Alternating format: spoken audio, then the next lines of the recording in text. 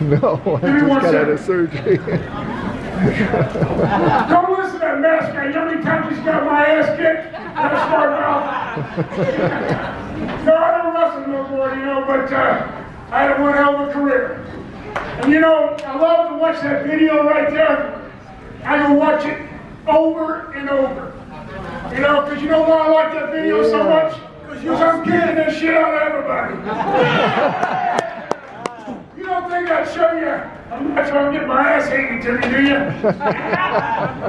no way, buddy. That would happen. But you seen some of those matches, and you seen the end of them, yeah, you see where I got it. Like I always say, folks, I wasn't born with a face like this. I used to be a handsome fella till I got pro wrestling. But you know, I love that. I love this. See this picture out here on the screen right now? Take a look at that. Look at those eyes right there, man. I was intense, okay? I'm telling you, people see that and they go, man, grappler, you're like you're ready to kill somebody, man. You know when that picture, I'll tell you the truth, when that picture was taken, I was standing in the ring like this, and I watched Andre the Giant step on the top rope. I wasn't intense, I was scared shitless. I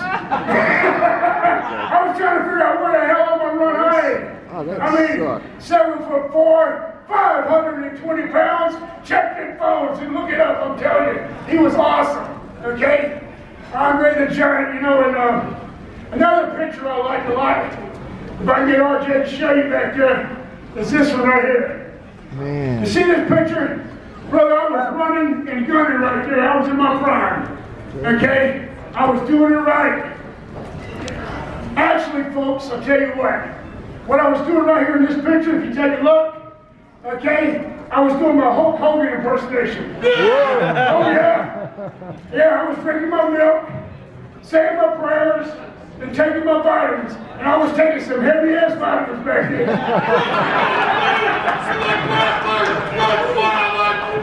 That's right, brother. But you know, every time I see this picture, it reminds me the fans used to come up to me, they see me like this, and they go, hey, let me they had two questions for me. They say, why do you why do you wear a mask and why do you call yourself the grappler? And I'll tell you right now, it's as simple as this. Because when I was a young man, I was so damn good looking. I'd go to the ring, and those damn women would be hanging on me, trying to get an autograph, trying to get a kiss, trying to get a hug. I'd get in the ring, it'd be a full-fledged riot, man. The security would have their hands full, dragging those women off the ring apron. And the girls in the front row, row sometimes would take their bra off and throw them in the ring.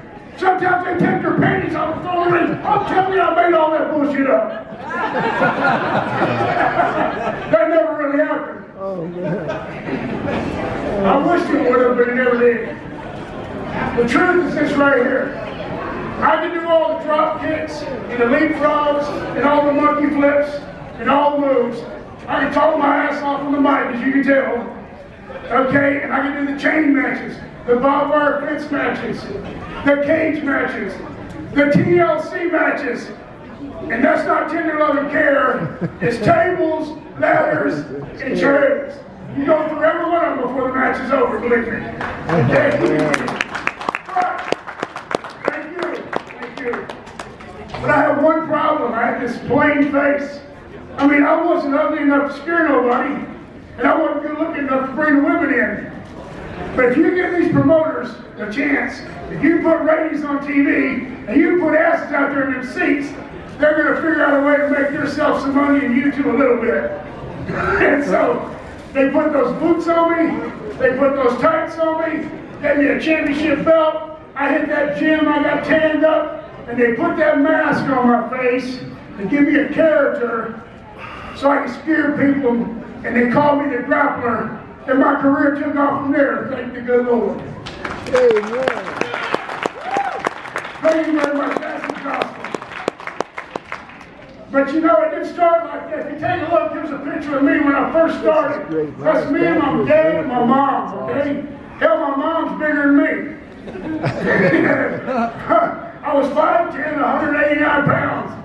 And the first place I went to wrestle after I survived training was in Amarillo, Texas, for the Funks. Yeah, yes, sir. So here's the thing, you know, like nowadays WWE, they got nationwide TV, they fly everywhere. Well, back then we drove everywhere, and it was called territories. They had local TV. Most promoters all had local TV. You got you to let Yeah. stay in Texas for a year, then Georgia for a year, then Florida for a year. And my first territory was Amarillo, and I was there two days and got minus five. Oh, they said I was too small. This is a big man sport. Okay? So they booked me and they had me refereeing and they had me doing all kinds of things. And man, I was broken hearted because my dream of a lifetime was to be a professional wrestler. And now it was all spoiled, right? So I got to go home in two weeks. And my last show was Albuquerque, New Mexico, and they had me haul one of the old, one of the big stars in their territory to Albuquerque with me. And he stayed in the back seat. Take a look at this guy I was riding with or driving. Yeah, that, that handsome fellow there, Abdullah the Butcher. so he slept in the back while we drove to Albuquerque. He wrestled. And on the way back, believe it or not, we're 20 miles outside Amarillo, and I blow the motor in my car. Oh, wow. Okay, so I'm having a hell of a luck. I got fired, my career's through, the motor's blown up. I finally got to where Abdullah lived, dropped him off, and believe it or not, folks, is it true? This guy right here says, I'll tell you what you do, Lenny. He said, you write a letter to Dory Funk Jr., and you thank him for having, having you here and giving you a chance. And you seal it, you put your phone number in there, and maybe he can help you out. And I did that, folks. And uh, about a week later, after I got, had to wire home and get money from my dad to fix the motor, when I got home, I walked in the door with my head down. Got to tell my family I couldn't cut it in wrestling. My dad said, "Look up, buddy. You just got a call from Dory Funk Jr. two days ago. You're booked in Louisiana in two weeks with Bill Watts." Wow. Hell yeah! Thank God for Dory Funk Jr. Okay. Show a picture of Cowboy Bill Watts. Everybody knows what I'm talking about. Now walk in the dressing with him. I'm still 5'10", 189. He goes, you want to be a wrestler? I said, yes, sir. He goes, well, you can do one of two things. You can lose, you can put on 40 pounds of lean muscle and wrestle here for us in Mid-South, or lose 40 and wrestle for the midgets. They have no pity on your ass in pro wrestling, okay? But I started working out, take a look at this, man. My whole Hogan died, started working, Dad. so I got bigger and I kept going, and finally I was doing pretty good. And you know, I like to drive those Lincoln Town cars. And, you know, you meet a lot of friends in pro wrestling. And one of my best friends that used to love to ride with me was this guy here named Andre the Giant. Whoa. Andre, there he is in Princess Bride. I love this guy. He's a good friend of mine. He loved to ride with me. Every time he'd come to the territory where I'm at, he said, I want to ride with the boss man. See, if Andre likes you, and you know him, Buddha, if he likes you, he called you boss man. If he didn't, he called you whatever the hell he wanted to, and then shit you could do about it. Right? we didn't hold all those women up. Fantastic. Holy shit. You know, when you when he rode with you, you put him like on the passenger side, and then you put the biggest guy driving and the smallest guy behind Andre, and the next biggest guy on the left side. It's like weight, it's like a small plane, weights and balances. You put all the bags on the left hand side, and the car still went down the road like this. okay? But he was awesome. I remember one time, there's a little story about Andre. We're in New Orleans, we got through doing some interviews, so we had the rest of the day to kill, and we're standing out there, we start drawing a crowd because Andre the Giant's standing here. And so I said, hey, I see a, it says all you can eat buffet. Andre, let's go in there and get something to eat. He says, okay, boss. So we, I go in ahead of him, and there's a little Chinese guy standing by the buffet. And he sees me coming, I'm about 260 then. I see him get a frown on his face, like, ah, this fat guy's gonna eat all our food. And I ain't gonna make no money on him. So, You're looking better so now. yeah, so it, wasn't actually this dark in there, but anyway, so Andre goes, so then Andre steps through, and he comes through the door, and when he stands up, that little Chinese guy, I seen a smirk come over his face, he starts speaking something, Vietnamese, Chinese, I don't know what it was, but he was cussing somebody out. And this guy's gonna eat me out of my whole business. But you know, Andre didn't, he ate like one plate. You know, he didn't have an eating problem. He had some kind of growth disorder, but he was a, he was a hell of a guy. So we went from there. Actually, actually, he tipped the guy about 20 bucks, and he ate like one plate of food. So the Chinese guy loved him when he left. He's his best friend. Yeah. so we go on, and we still got time to kill. I go, you know what? Let's go to the walk-in theater. So me and Andre the Giant, we go to the walk-in theater, we get our popcorn, our Coke, we're heading down the aisle, I got my date, Andre the Giant with me. We go, we go to sit down, his ass won't fit in the seats. Oh man. So what are we going to do? So we call the manager, he's too big. The manager goes, I got an idea. He puts a bench in the back, sets Andre there, and all the people start coming in. And we're watching this movie, and the people are going like this. They're eating their popcorn and looking back at Andre. Eating their popcorn, looking back at Andre. They're watching Andre more than the other movie. It's, it's unbelievable. But I love Andre the Giant, man. And there's another guy that was a real, real close personal friend of mine. I know all you folks know him. But I want you to take a look at this right here. This is Andre the Battle Royal, his favorite match that we got tonight. Okay, coming up. Now, if you look, there's Harley Race standing the first guy on the left, seven-time, seven-time NWA champion. The next guy with him is Dory Funk Jr., former NWA World Champion. There's his brother Terry Funk, Crazy Terry. We know him, man. And there's Dick Murdoch, and there's Ted DiBiase locked up with Andre in the corner. Now the guy fixing to charge Andre is dumbass grappler. I don't know what I was thinking, but I'll tell you the truth, folks. All that talent in that ring is some fantastic and great talent. But I'll tell you one thing, if you ask any of those guys right there who the real boss man was, they say, my best friend, Andre the Giant, was a true boss man. Out of all of them, okay? And that's the gospel. And you know another guy I really love to death was one of my best friends was this guy right here. Watch this video. Oh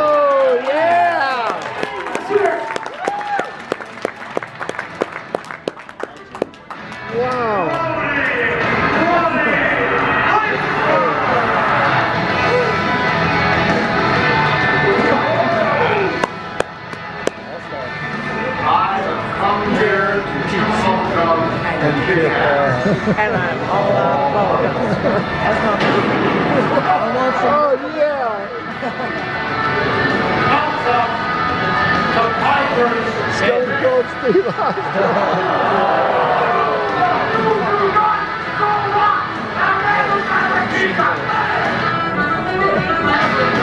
Mel's favorite wrestler, Piper.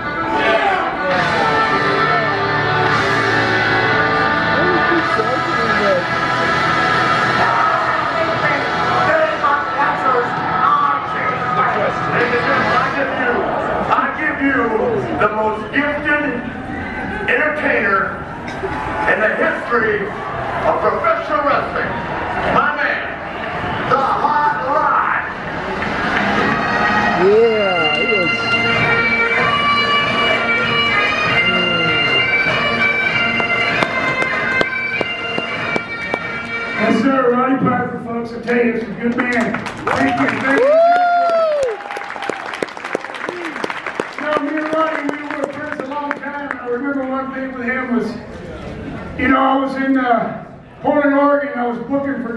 Owens, and I was on an $800 a week guarantee, and he paid my phone bill to bring talent in and get interviews done, all kinds of stuff. And we, Don Owens used to always ask me, he'd go, hey, Hey Lenny, Grappler, you're supposed to be this famous booker and know all this stuff. How come you can't sell out the sports arena?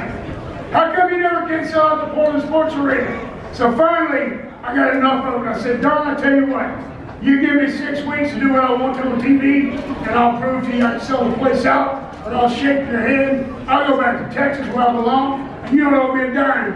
And man, that old man cannot wait to get up and shake my hand. We made that bet. And folks, six weeks later, we sold the place out and turned away 600 people, thank God. Okay, so I couldn't wait to get over and it into Don's butt and say, hey, brother, just rub it in. When I got over there, Don wouldn't want to talk to me. He, he paid me, I was the last guy he paid that night, and he throws in my $800 all at once. I said, okay, Don, that's the way it's going to be. He said, he said, yeah. I said, well, if you owe me an extra money, we got the place sold out. He goes, nah, you take it or leave it. That's all you're getting. you're on a guarantee. So I said, you know what? I told him and his son Barry, one way or the other, I'm going to get my money back. Okay? And so what I did was I went to Japan about three weeks later to wrestle Fujinami for the world title. And I was over there wrestling, and he, remember I told you he paid my phone bill? Oh yeah, well you know what? I call home three times a day to my wife saying I love you, honey. I'm Don Stern. When I got back, the phone bill was twelve hundred dollars. Straight to Tokyo. Well, when I got back, Don always fired my ass, and you put Roddy Piper in my place as a new booker. But you know what? Roddy Piper went to Don and says, I'll take on this job for you, Don, on one condition. You make Linda the brother of my sister. And you know what? I got the same pay and the same money and the same job right back because this great guy right here, Roddy, Roddy Piper. I love him. God bless him. You know what? There's another fellow here I love more than anything. He's one of my best friends, a guy named Fidel Sierra, the Cuban assassin. Let's take a look at him, buddy.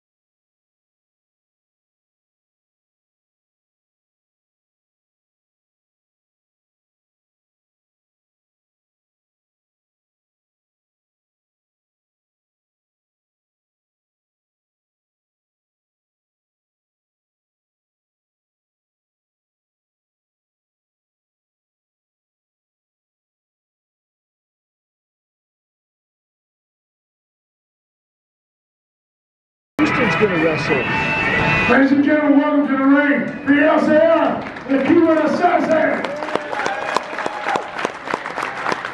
That's it?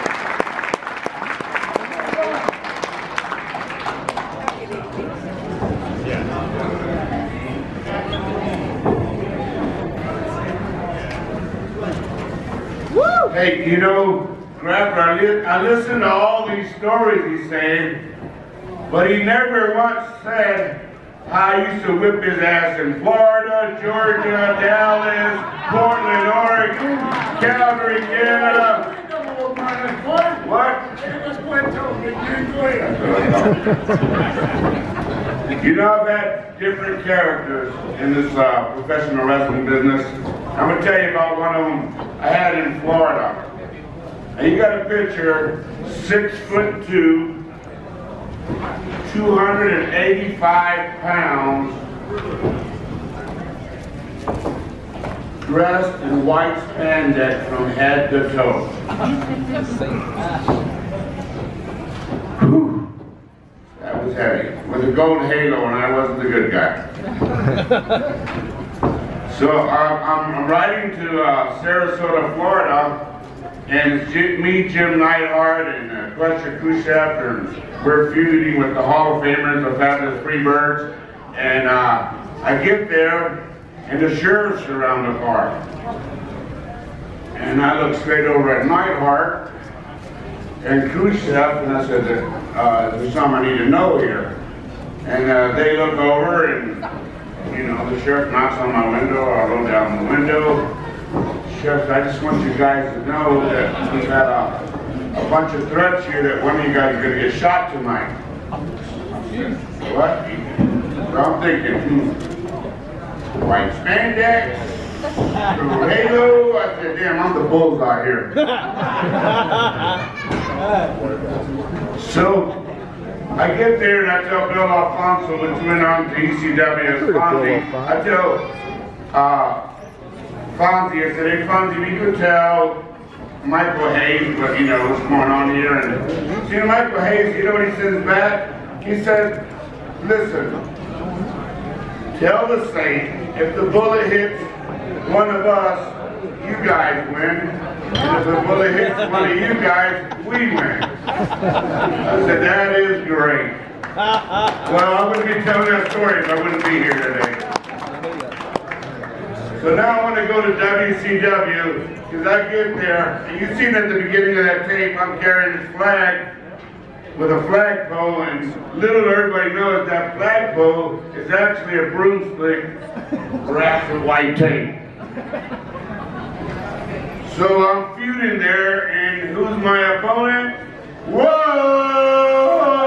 USA! USA! And here comes Hacksaw down the aisle with a big ass 2 by 4 And I said, well, that's just great. I just brought a knife to a gunfight.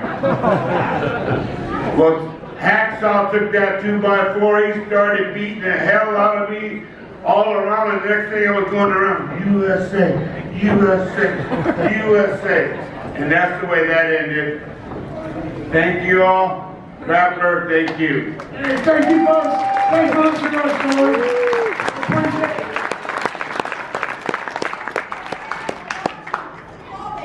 What? Oh, we got a heckler here? Why don't you get up here and do some talking, huh? Yeah, I'm sure about that, hot shot. Come on. Is that one of the GLOW girls? What do you have to say? Why don't you tell everyone?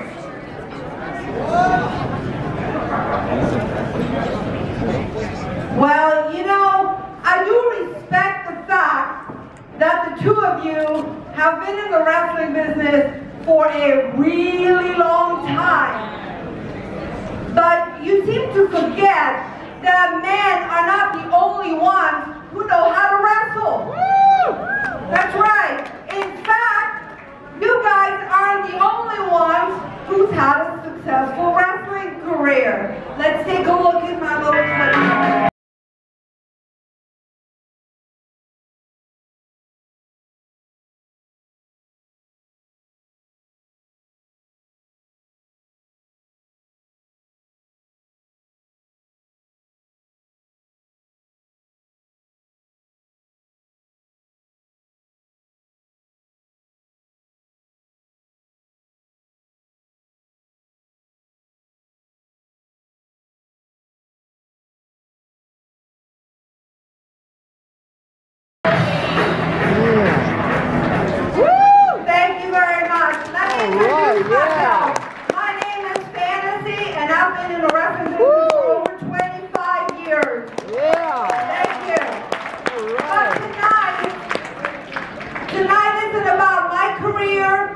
Or all my achievements, and it sure